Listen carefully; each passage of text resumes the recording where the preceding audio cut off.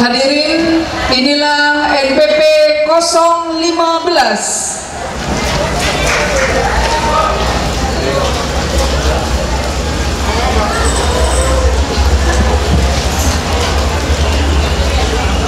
Assalamualaikum warahmatullahi wabarakatuh.